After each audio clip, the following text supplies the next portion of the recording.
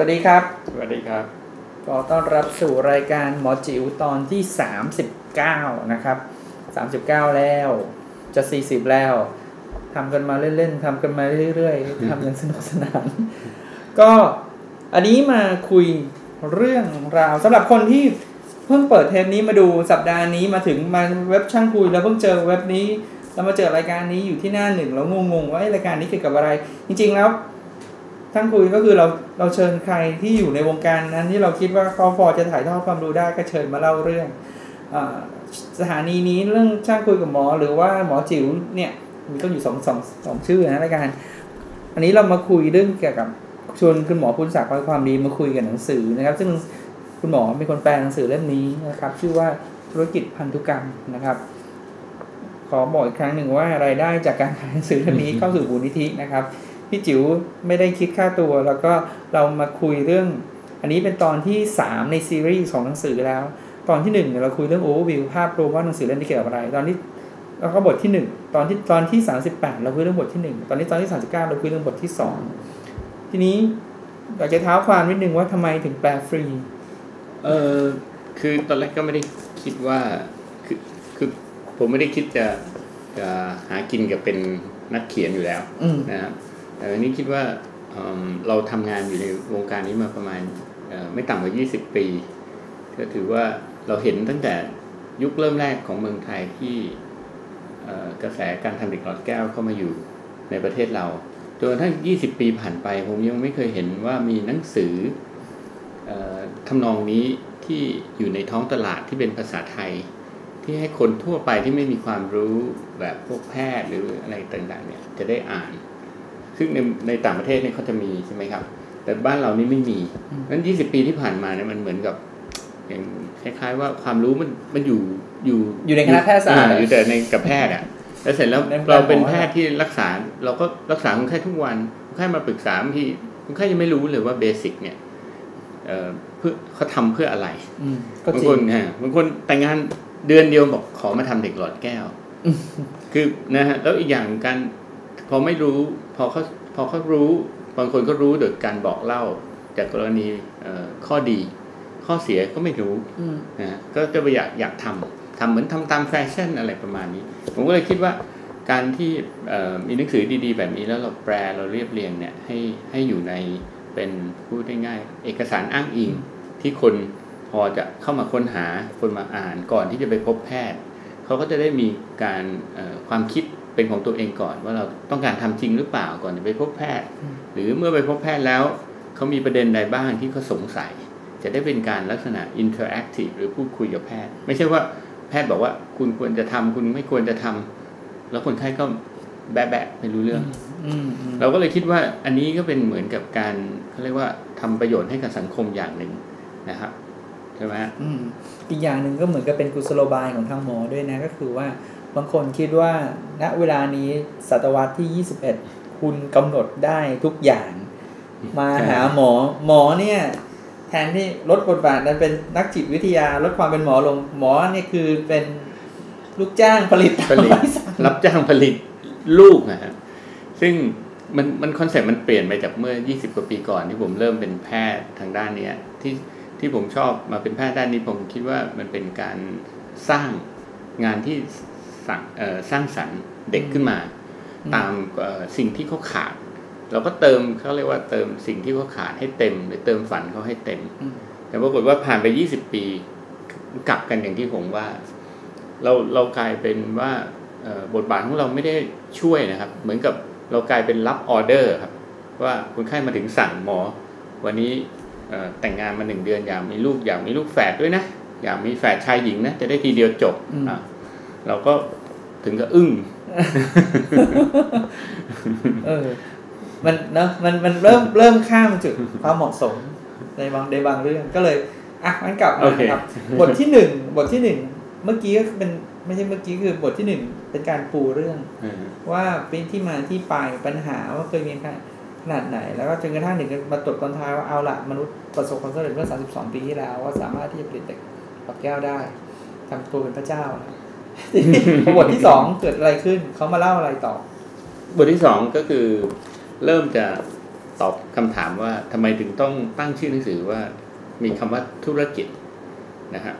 ทำไมมันหนังสือมันน่าจะเป็นเรื่องเกี่ยวกับเทคโนโลยีการแพทย์คนถามว่าทำไมมันเกี่ยวกับธุรกิจ เป็นหนังสือเกี่ยวกับนักเรียน MBA หรือไม่ใช่ แต่ว่ามันเป็นสิ่งที่บทที่สองจะบอกว่า เมื่อใดที่มีความต้องการ มันก็ต้องมีเขาเรียกว่าตามหลักเศรษฐศาสตร์ อุปสงค์อุปทานอุปสงค์อุปทาน demand supply มันก็จะต้องหาจุดสมดุลถูกไหมครับ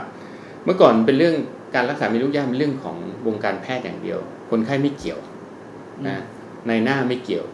แต่ว่าพอเด็กหลอดแก้วมันเปลี่ยนโฉมหน้านะฮะคือจากเมื่อก่อนเรารักษาคนไข้ยุคก่อนเด็กหลอดแก้วเนี่ยไข่ของใครก็อยู่ในท้องของเขาอยู่ในรังไข่ของเขา สเปิร์มของใครก็อยู่ในผู้ชายของสามี ไม่มีการเอามาตั้งอยู่ข้างนอก แต่เมื่อเด็กหลอดแก้วทำให้มันเกิดขึ้นได้ก็คือเอาไข่ออกมาข้างนอกได้ เอาอสุจิออกมาข้างนอกได้ แล้วเอาสองอย่างนี้มาผสมกันเป็นเด็กได้ด้วยมันก็เกิดการตัวกลางแล้วสิครับ ว่าอะในเมื่อเราเอาไข่ออกมาได้เอาอสุจิมาได้ ก็ไปฝากคนกลางไว้ก่อน อันนี้คือกรณีที่หนึ่งที่ มุมมองของแพทย์ก็มองว่าการมีคนกลาง หรือตัวช่วยที่ช่วยเก็บสเปิร์มแช่แข็งไว้ก่อน เก็บไข่แช่แข็งเวลาต้องการใช้มาใช้เวลาที่เหมาะสมนะมันเป็นตัวช่วยทำให้การรักษาดีขึ้นถูกต้อง แต่พอเวลาเวลาผ่านไปบางคู่เขาขาดบางอย่างใช่ไหมแล้วบางคู่เขาอาจจะแบบผู้หญิงอายุมากไข่ไม่ดีแล้ว อายุสี่สิบห้าไข่หมดแล้ว แต่ผู้ชายยังเชื่อดีอยู่ อยากมีลูก ก็เกิดการไข่ไม่มีก็ต้องไปหาไข่จากข้างนอกเพราะฉะนั้นไข่จากข้างนอกเนี่ย แรก ๆ มันก็ดูเป็นถ้อยทีถ้อยอาศัยก็คือว่าเออเอาของน้องสาว อายุน้อยกว่าสามสิบกว่ามีไข่ออกมาผสมให้ใส่ไป ตอนหลังไม่ใช่แล้ว เพราะว่าความต้องการมันเริ่มมากกว่าความ supply supply คือดีมานเริ่มมากกว่า supply เมื่อดีมานมากกว่า supply มันก็มีตัวกลางพ่อค้าคนกลางพ่อค้าคนกลางนี้อาจจะเป็นแพทย์หรือไม่ใช่แพทย์ก็ได้ ก็เกิดตั้งตัวเป็นในหน้า ในหน้าหาไข่ให้ใช่ไหมฮะคุณไม่มีไข่คุณไม่มีน้องสาว เดี๋ยวผมหาให้จากหาเพื่อช่วย ก็กลายเป็นว่าช่วยอย่างเดียวไม่พอ คุณเลือกได้ด้วยนะแทนที่จะเอาไข่จากผู้หญิงที่เอหน้าตาปกติเอไม่ไม่ขี้เหร่ สมองปานกลางหรือไม่ต้องเลือกมากสูงอาจจะไม่สูงมากนะเลือกได้แล้วถึงก็เกิดตลาดซื้อขายไข่ก็คือว่า เออฉันอยากให้ลูกฉลาดไอคิวสูง อยากให้ลูกฉันมีเออเป็นลูกครึ่ง มีผมสีทองตาสีฟ้านี่ก็เกิดในหน้าไปติดต่อ หาไข่มาให้นะแล้วยิ่งถ้าพูดถึงตัวเชื้อสุจิยิ่งง่ายใหญ่ของผู้ชายนี่ง่ายของผู้ชายง่ายเพราะผู้ชายนี่ ผลิตได้ตลอดเวลาอายุก็ยาวเลย แป๊บเดียวเอาขวดเข้าไปสิบห้านาทีออกมาแล้วเป็นดักปั้นนักเรียนแพทย์ ใช่ใช่นี่คือเคยเล่าแต่พี่หนำซ้ำผู้ชายอายุในการผลิตเนี่ยมันสเปนมันยาวกว่าผู้หญิงเลยนะผู้หญิงวัยเจริญพันธุ์จะสั้นสิบปี ใช่อันในบทนี้ก็จะบอกว่ามันก็ทุกอย่างก็ตกเข้าไปอยู่ในกระแสของธุรกิจอย่างหลีกเลี่ยงไม่ได้ เกิดตลาดการแลกเปลี่ยน แล้วราคามันก็แปรไปตามดีมานสป라이ใช่ไหม อะไรที่หายากราคามันก็สูง แน่นอนไข่เมื่อเทียบกับสเปิร์มไข่ก็สูงราคาสูงกว่าหลายสิบเท่าโดยเฉพาะถ้าไข่ของผู้หญิงที่แบบเอ่อหัวอยู่เรียนอย่างในนี้หนังสือส่วนใหญ่จะอ้างอิงถึงใน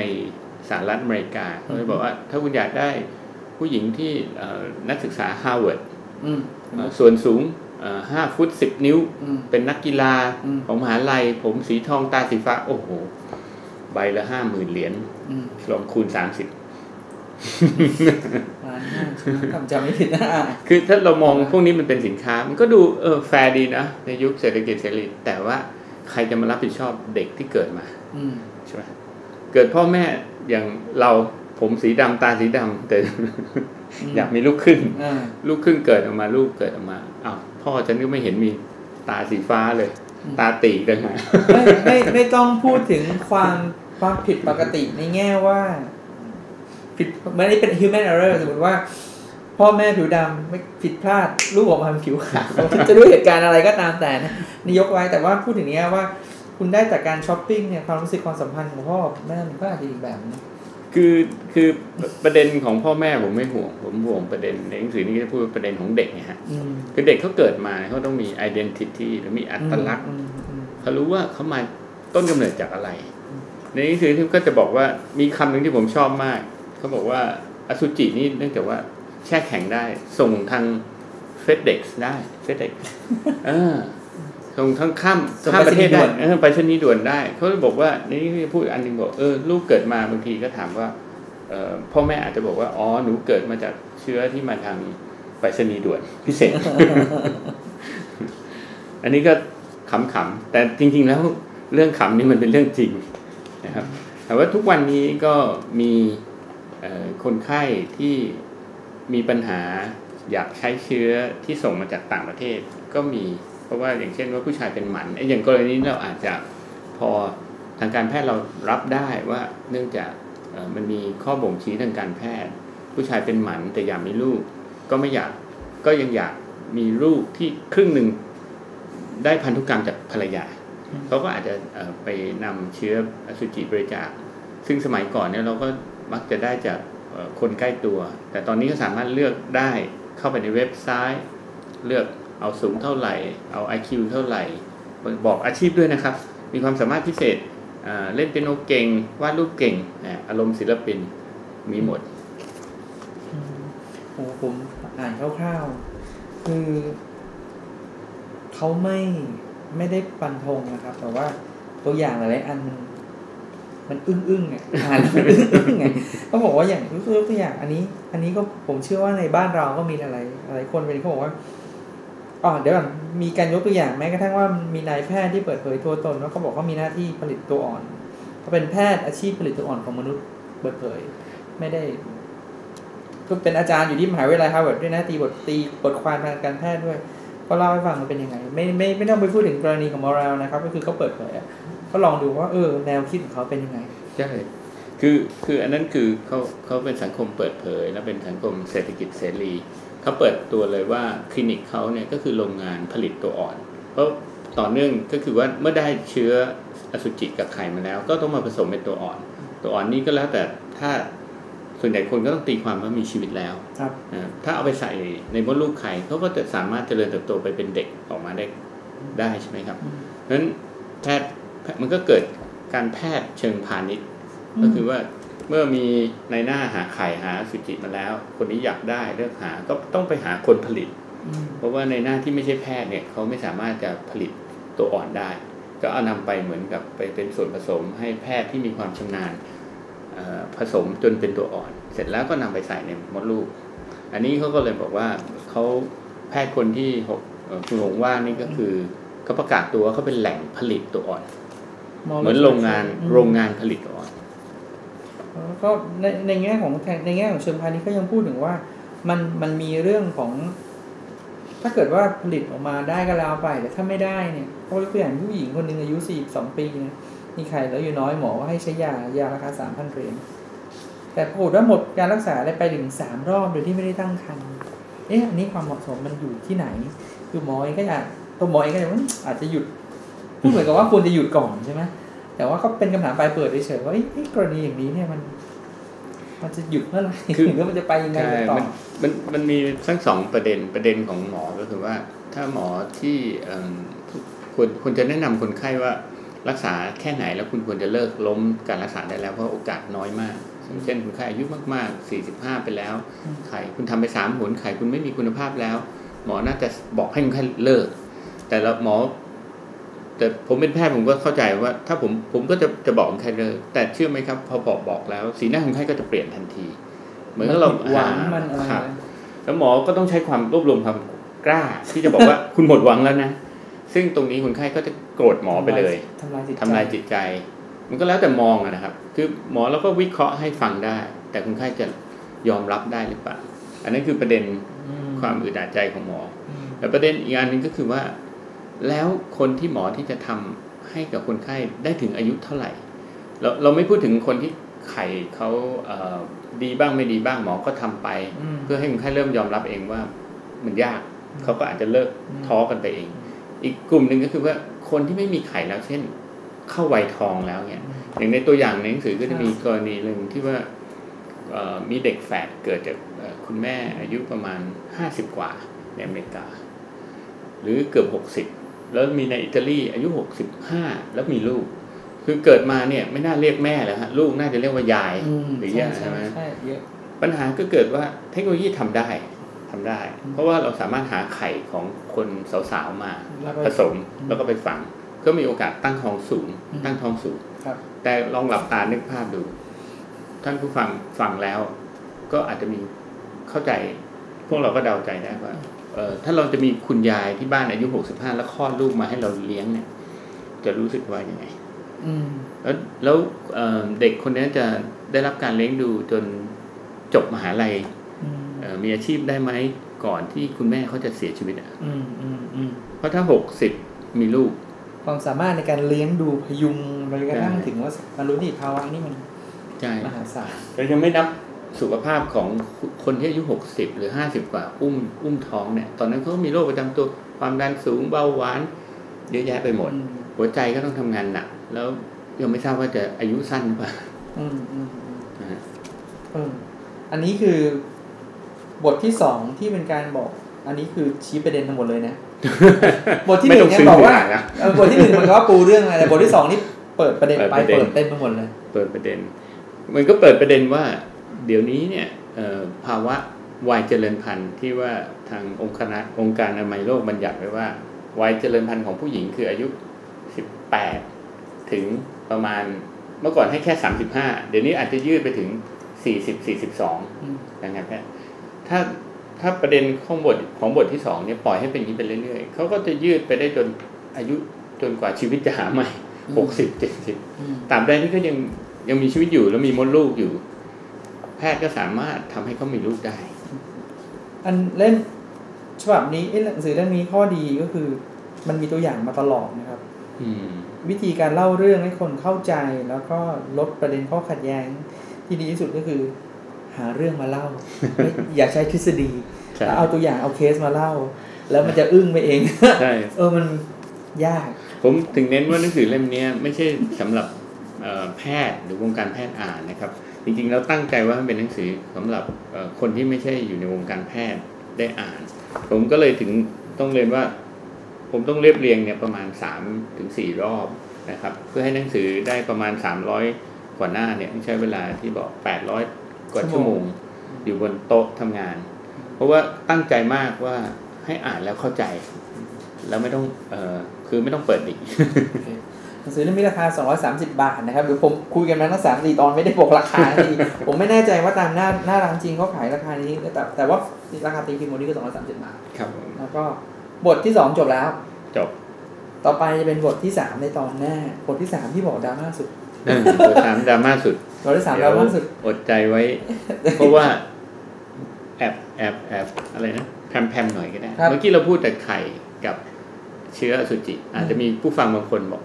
แล้วขาดไปอย่างหมอลืมพูดบอกไม่ใช่มันอยู่บทที่สามเรื่องนี้มันเรื่องใหญ่นะเบิร์ตจะคือเรื่องมดลูกมีไข่บทแล้วที่สามคือเรื่องมีอสุจิแล้วของผสมแล้วใช่มดลูกบทที่สามกล่าวนำไว้ก่อนนะฮะจะได้เอ่อติดตามฟังต่อคือบทที่สามเรื่องของมดลูกให้เช่าอืมเพื่อเงิน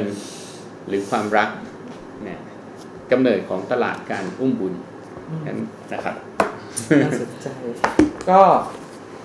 ลองไปหาอ่านดูนะครับ แล้วก็ แนะนำให้อ่านเพราะว่ามันมีเคสเยอะนะครับแล้วก็คือคุยในทางวิชาการลองคุยได้ครับ แต่ลองดูเคสก่อนนี่คือเรื่องจริง แล้วเราผมคิดว่าอาจจะเข้าใจได้มากนะครับก็รายได้ของการขายหนังสือย้ำอีกทีหนึ่งเข้ามูลนิธิการกุศลนะครับของคุณสั่งไม่ได้เงินแต่ฟรีเอ่อกว่าเทปนี้จะออกเนี่ย ผมเข้าใจว่างานนี้อาจจะผ่านแล้ว อาจจะเป็นอาทิตย์นั้นแต่ลองดูอีกทีหนึ่งก็คือจะมีงานธุรกิจพันธุกรรมจะไปถึงไหนกันในวันอังคารที่ 3 พฤษภาคมนะครับ อันนี้เป็นเป็นงานเปิดตัวหนังสือเล่มนี้ โดยมีคุณหมอคุณศักดิ์กับนายแพทย์ขอโทษนะเอ่อพันศักดิ์คุณแม่พันสุศักกดิ์เลิศเป็นพพิอธีสอกนรกันนะพันศักดิ์คุณศักดิ์คนหนึ่งพิชื่ธีอกคล้ายรกันคนหนึงเป็นคนแปลนะครับ ก็อีกสองอาทิตย์ครันะบยังยังผมว่ายังมีเวลาที่โอ๊ยจะทันฮะก็สยามพารากอนบ่ายสองสี่โมงครึ่งวันอังคารที่3พฤษภาคม ถ้าเกิดใครสนใจติดต่อ หนังสือสมมติว่าติดต่อยังไงไม่ได้ติดต่อมาที่ผมก็ได้นะครับ twitter.com slash หงสยกหรือว่า ติดต่อพี่จิ๋วก็ twitter.com slash ดรคุณศักดิ์ dr p w n s a k ในตอนท้ายหนังสือเล่มนี้ก็มีการพูดถึงว่าจะติดต่อหมอได้ไงนี่ทั้งเว็บไซต์ Facebook ครับทับดรจิ๋วนะครับ G ดรแล้วก็ J I E W ดรจิ๋วหรือว่าที่ Twitter ก็ได้นะครับครับอะสำหรับตอนนี้คงมีเท่านี้ เดี๋ยวเจอกันตอนหน้าตอนดราม่าสุดๆ ขอบคุณมากครับผมสวัสดีครับ สวัสดีครับ